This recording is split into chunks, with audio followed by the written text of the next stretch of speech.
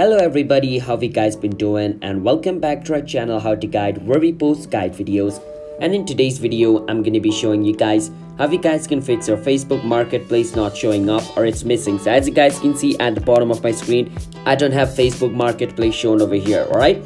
So even if it is not shown over here you can easily access it by clicking on the search icon at the top right corner of your screen. Over here just write MA arc and it's going to show you marketplace over here m-a-r-k-e-t and you can see marketplace. You can click on it and bam you're on facebook marketplace all right? So that's one way to do it. But let's say you don't want to do it by going on search. You want to add it at the shortcuts on the bottom of your screen. How you can do that is before that don't forget to hit the like and subscribe to our channel how to guide for future videos like this. Now let's move on. Now to add facebook marketplace on your shortcuts you can go in menu and click on the setting icon at the top right corner of your screen. And over here you can see versus shortcuts which is right below notifications. Click on it. Over here go on versus shortcut bar.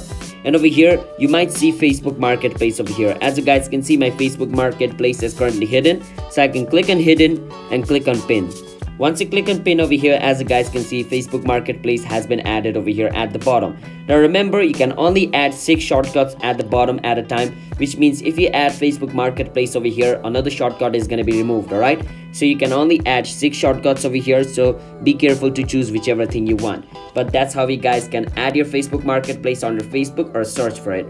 So hope you guys understand.